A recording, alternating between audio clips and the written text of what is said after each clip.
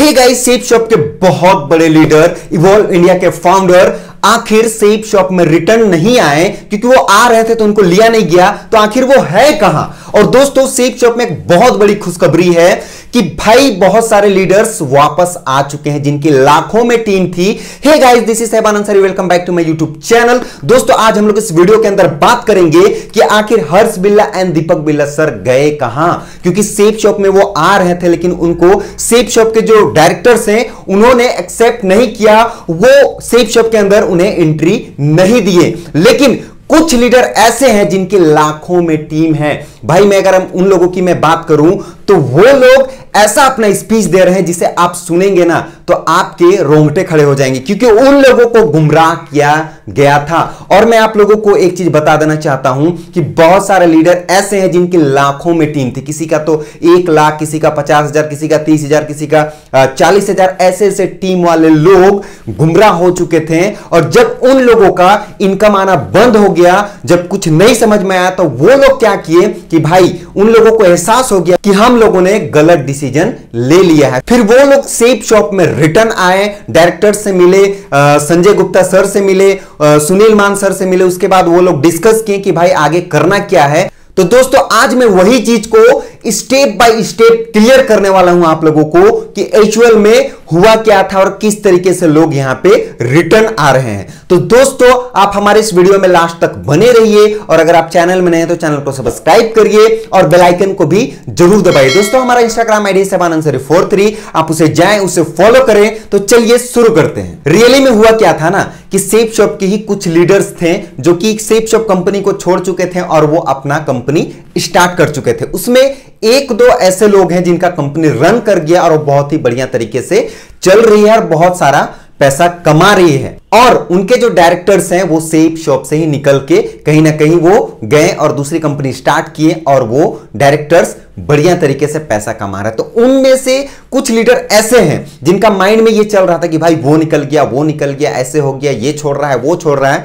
तो थोड़ा सा लोग उसमें कंफ्यूज हो गए कि लोग छोड़ रहे हैं, यार अगर मैं भी छोड़ दूँगा, दूसरी कंपनी में स्टार्ट करूँगा तो मैं भी कमाने लगूँगा। तो इस तरीके से हर्ष बिल्ला, दीपक बिल्ला सर जो थे उन लोगों को थोड़ा सा खटपट लगने लगा और एक डेढ़ साल से उन लोगों का प्लानिंग ये था कि भाई, हम लोग ये कंपनी को छोड़ देंगे, दूसरी कंपनी स्टार्ट करेंगे। तो ये लोग अंदर अंदर प्लानिंग कर रहे थे। जब ये प्लानिंग करने लगे तो जब वक्त आया तो इनके द्वारा एक कंपनी स्टार्ट किया गया। यानी कि एक रजिस्ट्रेशन कराया गया। फिर ये लोग मीटिंग करने लगे अंदर अंदर जब मीटिंग में बात चलने लगी तो यहाँ पे सपने बहुत बढ़िया बढ़िया दिखाया गया। बहुत बड़े बड़े सपने दिखाए गए और बहुत सारे ऐसे लोग हैं जिनके अंदर इतना ज़्यादा एक्साइटमेंट आ गया, इतना ज़्यादा एक्साइटमेंट आ गया, ये मैं नहीं कह रहा हूँ। आप फेसबुक खोलिए और उसके अंदर लाइव वीडियो आप देखिए। उसमें आप लोग देखिएगा कि ये लोग इतने एक्साइटेड हैं, इतने एक्साइटेड हैं जैसे कि ये लोग करोड़पति बन गए हैं एक महीने के अंदर।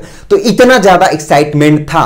लेकिन जब कहा गया इवोल्व इंडिया के फाउंडर द्वारा, यानी कि हर्ष बिल्ला एंड दीपक बिल्ला द्वारा कहा गया कि भाई रजिस्ट्रेशन स्टार्ट करो और एक डेढ़ महीना के अंदर सारे प्रोडक्ट्स आ जाएँगे, ये हो जाएगा, ऐसा हो जाएगा, वैसा हो जाएगा। ये मतलब ये लोग का अपना जो प्लानिंग था। लेकिन बहुत सारे लोग क्या करने लगे? प्लानिंग करने लगे और सभी कोई अपना रजिस्ट्रेशन कराने लगे। क्योंकि यहाँ पे कोई वीनस चला गया था, कोई ट्रिपल डायमंड चला गया था, कोई डबल डायमंड चला गए थे, इन लोगों के पास लाखों का टीम था। तो ये लोग अपने टीम को लेके चले गए। तो जब वहाँ पे रजिस्ट्रेशन होने लगा होने लगा, लेकिन इन लोगों का कहना था कि भाई, हम लोगों को डेढ़ महीना से सिर्फ़ गोल गोल घुमाया जा रहा था। ये होगा, ऐसा होगा, वैसा होगा। लेकिन एक्चुअली में कंपनी स्टार्ट हो नहीं पा रहा था। तो फिर क्या हुआ ना, डेढ़ महीना के अंदर, क्योंकि बहुत सारे लोग ऐसे होते हैं नेटवर्क मार्केटिंग के अंदर, कि वो लोन में गाड़ी लेते हैं और बहुत सारे लोग लोन में घर लेते हैं।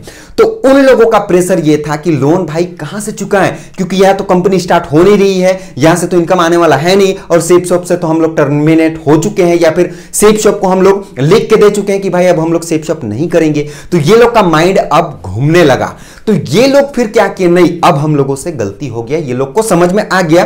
फिर ये लोग क्या किए? डायरेक्टर से मिले बड़े बड़े लीडर से मिले, यानी कि संजय गुप्ता सर हैं, सुनील मान सर हैं, ये बड़े बड़े लीडर्स जो हैं, इनसे ये लोग डिस्कस करने लगे।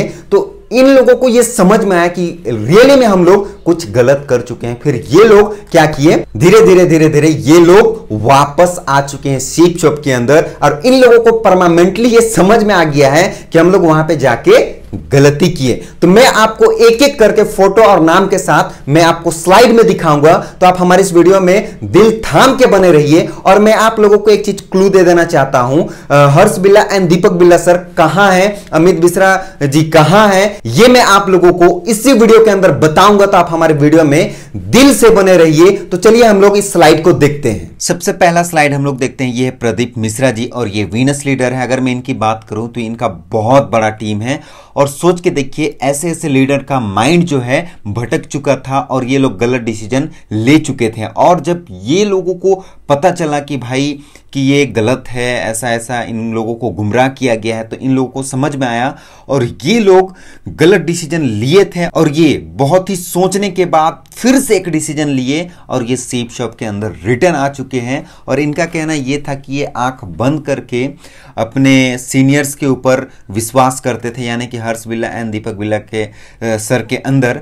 तो सोच के देखिए, ये इनके साथ भी विश्वासघात हुआ कि भाई, इनको बोला गया कि ऐसा हो जाएगा, ये हो जाएगा, यानी कि बड़ा बड़ा सपना दिखाया गया और इनको वहाँ पे बुलाया गया, लेकिन इनको समझ में आ गया और आज ये सेप शॉप के अंदर रिटर्न आ चुके हैं। अब हम लोग इनको देखते हैं। ये है दिलीप चौधरी जी और अगर मैं इनकी टीम की बात करूँ तो ये ट्रिपल डायमंड है, यानी कि तीस चालीस हज़ार के आसपास इनका टीम है। और सोच के देखिए, इतने बड़े लीडर जिनका माइंड भटक चुका था और ये आज वापसी कर चुके हैं शेप शॉप के अंदर। तो बड़े बड़े लीडर्स का भी माइंड घसकता है कहीं ना कहीं। तो इसीलिए आप लोगों को अपने माइंड को घसकाना नहीं है। जहाँ पे है, वहीं पे रखना है और बढ़िया तरीके से काम करना है। अब हम लोग नेक्स्ट स्लाइड देखते हैं। ये है बीरेंद्र कुशवाहा जी और अगर मैं इनकी बात करूँ तो ये डबल डायमंड है, यानी कि बीस तीस हज़ार का इनका टीम है और ये भी भटक चुके थे और ये भी आज सेप शॉप के अंदर वापसी कर चुके हैं। अब हम लोग इनको देखते हैं। ये है भागीरथ सिंह जी और अगर मैं इनकी बात करूँ तो ये डायमंड है और इनका माइंड भी भटक चुका था। सोच के देखिए, दस हज़ार का टीम और इनका माइंड भटक गया। तो सोच के देखिए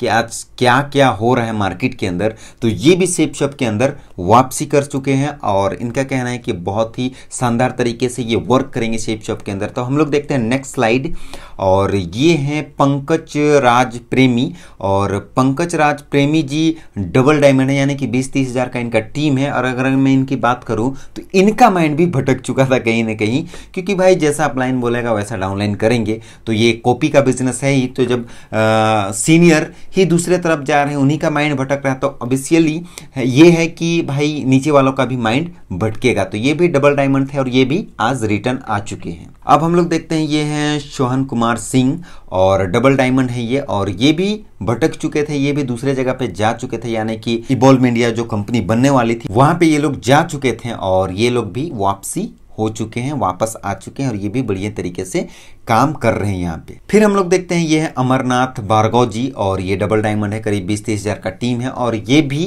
भटक चुके थे, कहीं ना कहीं जा चुके थे और ये भी आज वापसी कर चुके हैं और सेप शॉप में बहुत ही शिद्दत से ये काम कर रहे हैं। अब हम लोग चलते हैं नेक्स्ट स्लाइड पे। ये है अजीत कुमार खामोश जी और बहुत ही खामोशी के साथ ये चले गए थे इवॉल्व इंडिया में और बहुत ही शोर के साथ ये सीप शॉप के अंदर आ चुके हैं। लाइव वीडियो में बताएँ कि भाई मेरे साथ ऐसा ऐसा हुआ और ये भी आज रिटर्न आ चुके हैं, वापसी कर चुके हैं और ये भी बहुत ही शिद्दत तरीके से काम कर रहे हैं सेप शॉप के अंदर।